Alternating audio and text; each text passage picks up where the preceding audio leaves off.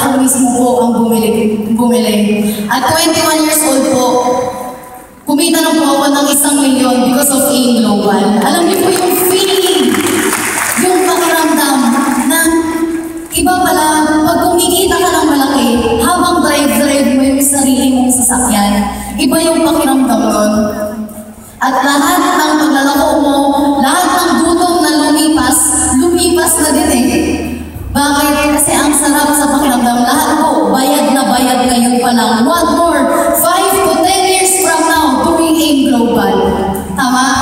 And ngayon po, masasabi ko, sa mga magulang na nandito, i-encourage niyo po yung mga magulang niyo, ano po mga anak niyo po, papajoin in sa AIM Global. Bakit? Ito po yung isa sa pinaka matutulong niyo po sa mga anak niyo dahil sa trainings ng AIM Global. Sa mga magkakapatid na nandito ngayon, maging inspirasyon niyo po kami, kaming magkakapatid na ginagawa yung negosyo. At para naman sa mga anak dito, sino po yung may mga magulang pa? Pakitaas po yung kamay, kahit isa na lang.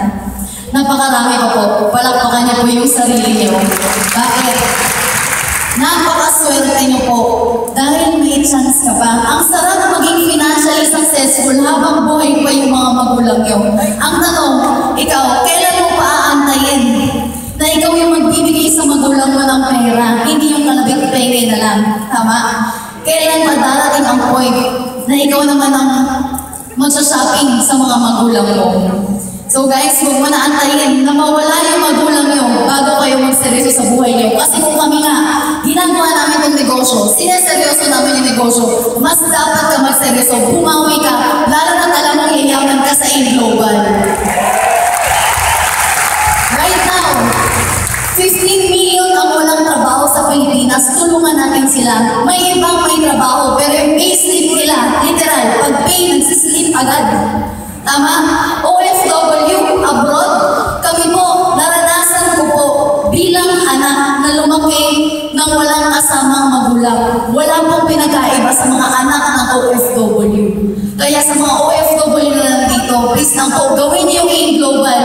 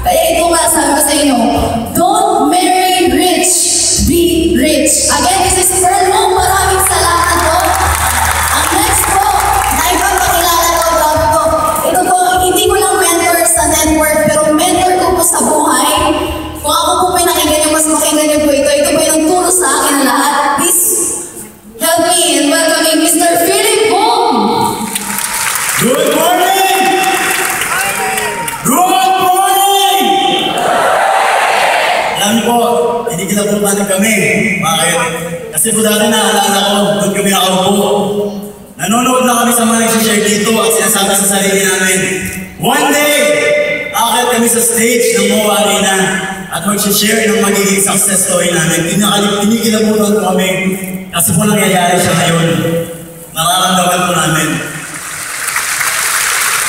Guys, parang malaman niyo na po pamilya namin. Dati, medyo may kaya kami. Paano medyo may kaya? Dati, meron kaming beach resort, 8 hectares. Dati, meron kaming limang speedboat, may yate kami. Dati, ang chef namin galing pa ng Hong Kong, pinapunta ng Pilipinas para may sarili kaming menu sa bahay. May sarili kaming subdivision. May mga negosyo kami, may fish pond kami, may lending kami. Yun nga lang po, September 11 of 1996, both of our parents passed away. Nawala po sila. Doon po nagbago talaga lahat. Lahat nag 360 degrees. From dati, nag-uulam kami litsong baka, litsong baboy. Naging litsong manok, alam niyo po, naging isda na lang ang ulam namin. Hanggang nangyari, naging langka, naging nataan, naging munggo. Minsan, may nagkaroon kami ng karne na ulam, ano yung nangyari?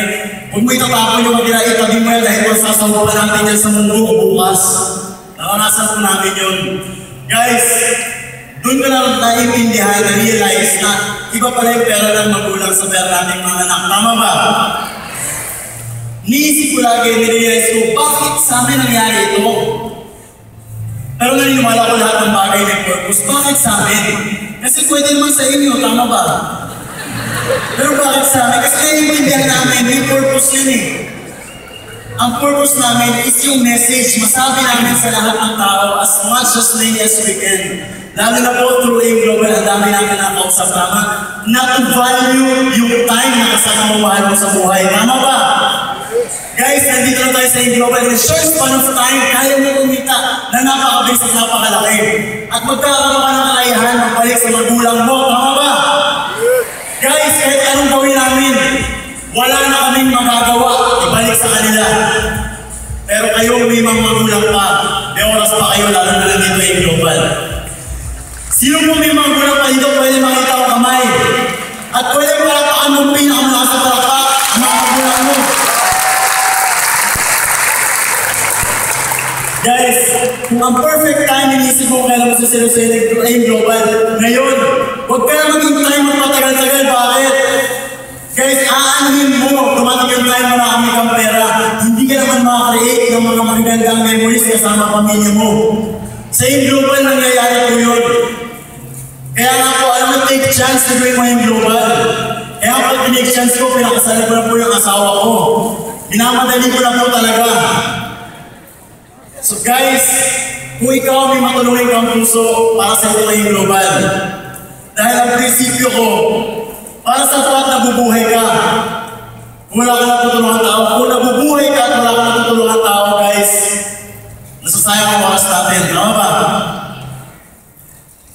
gusto mong mark na may iwan mo pag nawala ka sa mundong ko?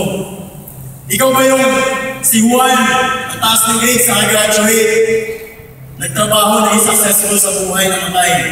O ikaw ba, yung si Juan, yan ang tao, nagbigay sa akin ng motivation para mangarap ulit. Siya ang dahilan kaya hindi ko sinukuha ng pangarap ko. Siya ang dahilan kaya nagbago mindset ko. Siya dahilan, ikaw ang dahilan kaya naging successful ako. San sa dalawa yung gusto mo maging mark na iwan? Guys, we have this chance of a lifetime to live. Tama ba? Itong buhay na to, huwag natin sayangin. Gusto mo ba maging boring ang buhay mo? Gusto niyo ba yun? Guys, nandito kayo in Global.